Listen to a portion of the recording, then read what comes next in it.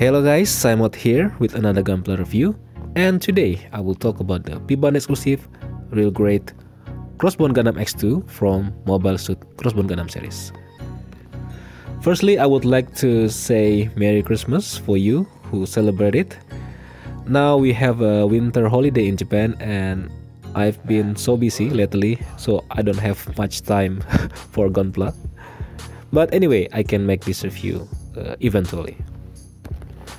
And as usual, before I started with the review, I would like to inform you that the price of this kit is uh, 3190 Japanese yen in Japan. And um, I'm sure most of you uh, have been aware that this kit is the first variation of the real grade crossbone gun X1 which was released earlier so in order to make this review simple and concise, I will focus more on the new stuffs which came with this kit and the differences between the X2 and the Crossbone Gundam X1 which was released earlier. Okay? Okay, so for the start, I will talk about the accessories first. This kit came with everything the Crossbone Gundam X1 came with earlier. For example, there are two beam sabers, buster gun, a beam zanber, two chains for scissor anchors, heat daggers, and several beam effect parts for brand marker and beam shield. And of course, similar with Crossbone Gundam X1, this kit also came with a badass anti-beam cloak. Crossbone Gundam X2, however, have a new additional weapon came with it. And you, I think you already know that. Uh, it's the Shot Lancer, which is uh, really really cool. The addition of this weapon makes the X2 has slightly more gimmicks compared to the X1. And other than those accessories, you also got a bunch of spare parts such as extra forehead and skull parts, cockpit part, leg armors, and handguard parts. And finally, this kit came with a sheet of water slide decals which replaced the marking stickers as the Crossbone Gundam X1. And this is how the X2 looks like after being panel and all water decals applied onto it.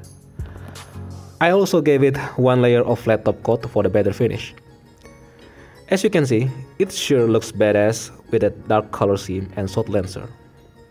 Anyway, one thing I would like to point out is, most of the water decals are hardly noticeable because the red color was not contrast enough with X2 dark theme. So, I think Bandai should give this kit more decals with white color or at least give it brighter red decals.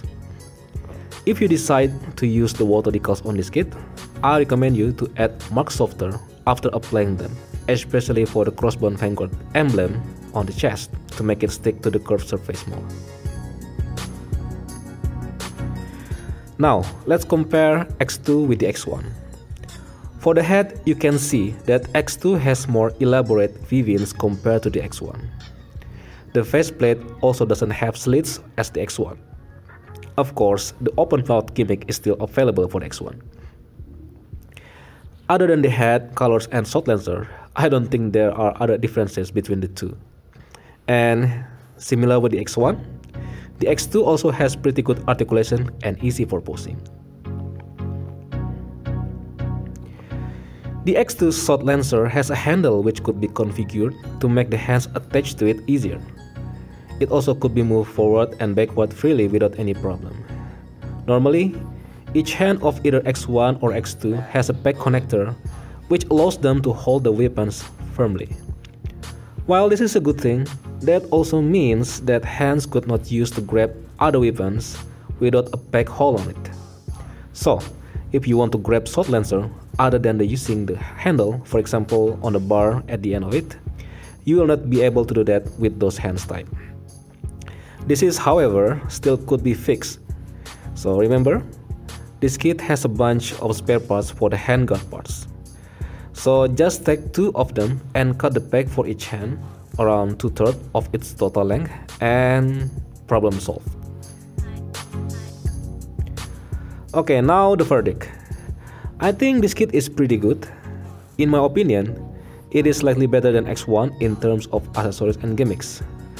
The colors and water slides were okay, except for some red decals which were not easily noticeable by eyes.